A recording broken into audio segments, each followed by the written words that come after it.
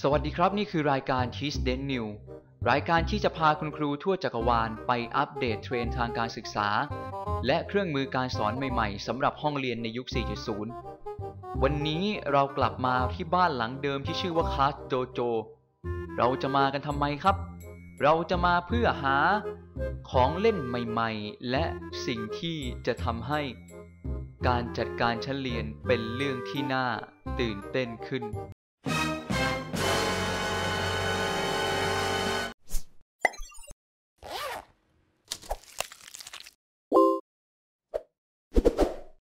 เรื่องมุกแป๊กไว้ใจเราครับ สวัสดีครับ ยินดีต้อนรับทุกท่านเข้าสู่ช่อง Teach d e n Share นะครับ คลิปวิดีโอที่ทุกท่านได้ดูอยู่ในตอนนี้เนี่ย ถ้าไม่รวมกับพอดแคสต์ในคลิปที่ผ่านมานะครับ คือคลิปวิดีโอแรกของซีซั่น3 เลยครับ ไม่ช่วยกันปรบมือหน่อยนะครับ ผมปรบมือคนเดียวจนมือแดงหมดแล้วเนี่ยนะครับ เพราะอัดหลายรอบเหลือเกินนะครับ วันนี้นะครับก็ถือว่าเป็นการกลับมาอย่างเป็นทางการนะครับของทีดเดนแชร์นะครับ หลังจากที่เข้าป่าเข้าพงไปประมาณ 30 วันนะครับ ได้ไปทำอะไรหลายอย่างเลยนะครับ ก็แอบโปรโมทสักนิดหนึ่งกันแล้วกัน นั่นก็คือรายการใหม่นะครับที่ทำเพิ่มเข้ามาคือ t i s d e n Podcast นะครับ รายการ t i s d e n Podcast เนี่ยก็เป็นรายการสำหรับคุณครูนะครับ ทุกสังกัดทุกเพศทุกวัยเลยนะครับ ที่จะเข้ามา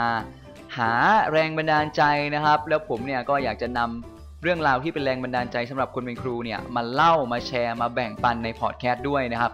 ไม่ว่าจะเป็นเรื่องเกี่ยวกับคุณครู เกี่ยวกับนักเรียนนะครับ หรือเกี่ยวกับการเรียนการสอนที่เป็นเทคนิคเล็กๆน้อยๆสามารถที่จะนำไปปรับใช้ในห้องเรียนได้จริง ๆ นะครับ ยังไงนะครับก็ฝากกดเข้ามาฟังเข้ามาแนะนำเข้ามาติชม t i s d e n Podcast กันด้วยนะครับ โอเค เอาไว้แค่นี้ก็แล้วกันนะครับ โปรโมทแค่นี้นะครับ โฆษณาแค่นี้พอ แต่ก็อยากให้ทุกท่านลองไปฟังกันดูนะครับ วันนี้เราจะกลับมาที่บ้านหลังเดิมของเราครับ ที่เราคุ้นเคยกันดี นั่นก็คือ ClassDojo ครับ เครื่องมือที่ทีเดนแชร์ได้นำเสนอไปเนี่ยมีมากกว่า 200 เครื่องมือนะครับ 200 เครื่องมือ แต่ทุกท่านเชื่อไหมครับว่า โดยส่วนตัวแล้วเนี่ยผมเองนะครับ ก็ใช้อยู่ไม่กี่อันหรอกนะครับ ที่ใช้ซ้ำกันแทบจะทุกชั่วโมงหรือใช้บ่อยที่สุด ซึ่งหนึ่งในนั้นที่ผมเคยบอกไปแล้วก็คือ ClassDojo ครับ แต่อย่างที่บอกครับว่าเมื่อวันเวลาเปลี่ยนไป โลกเปลี่ยนไปนะครับ คนที่เขาทำเว็บไซต์หรือว่าพัฒนาระบบ ClassDojo เนี่ยหรือทุกๆ เว็บไซต์เลยที่เราใช้กันอยู่เนี่ยเขาก็มีการอัปเดตมีการเปลี่ยนแปลงนะครับ ซึ่งหนึ่งในนั้นเนี่ยก็คือ ClassDojo ในวันนี้นะครับเราจะมาดูกันซิว่า ClassDojo เนี่ยมีอะไรเปลี่ยนไปบ้าง มีอะไรปรับเพิ่มบ้างนะครับ และเมื่อเรียนรู้พร้อมกันแล้วเนี่ยก็อยากให้ทุกท่านเนี่ยได้นำสิ่งนี้ไปใช้ให้เกิดประโยชน์ในห้องเรียนจริงๆนะครับ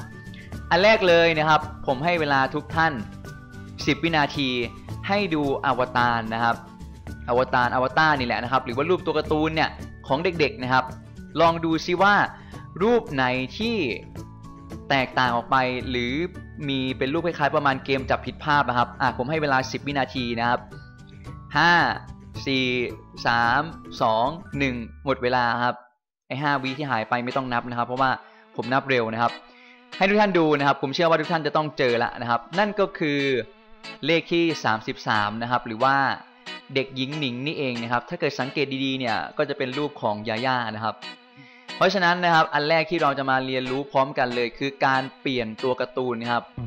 เปลี่ยนตัวการ์ตูนให้มีความน่าสนใจมากยิ่งขึ้น อาจจะเป็นการ์ตูนแบบอื่นๆ หรือว่าอัปโหลดรูปที่เราต้องการเข้ามานะครับ มาเดี๋ยวเราลองมาดูกันดีกว่านะครับว่าทำอย่างไรนะครับ การเปลี่ยนตัวการ์ตูนก็ไม่ยากครับ เมื่อเราเข้ามาในห้องเรียนแล้วเนี่ย เราก็จะไปที่ option นะครับหลาย ๆ ท่านที่ยังเพิ่งเริ่มต้นเข้ามาดูคลิปนี้ และยังไม่เคยใช้ ClassDojo อยู่เลยเนี่ย ผมก็แนะนำให้ไปดู 3 คลิปก่อนหน้านี้ก่อนนะครับ เพราะว่าถ้าเกิดไม่ดูเนี่ยก็อาจจะงงเล็กน้อย หรือว่าไม่เข้าใจในบางอันที่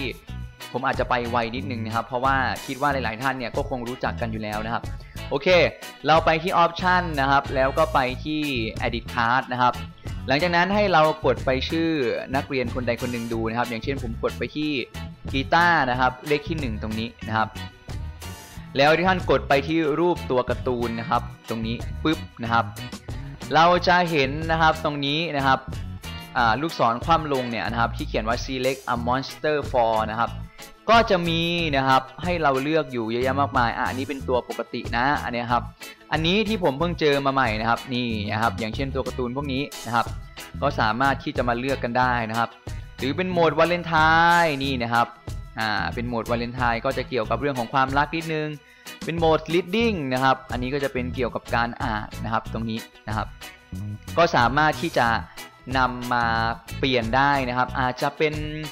อ่าอันนี้เป็นเทคนิคเพิ่มเติมที่ผมอยากจะเพิ่มให้นะครับ อย่างเช่นมีนักเรียนที่ได้คะแนนไปถึงสักระดับหนึ่งอาจจะเป็น 5 หรือ 10 คะแนนเนี่ยก็คุณครูก็อาจจะเพิ่มเสริมแรงว่าอ่า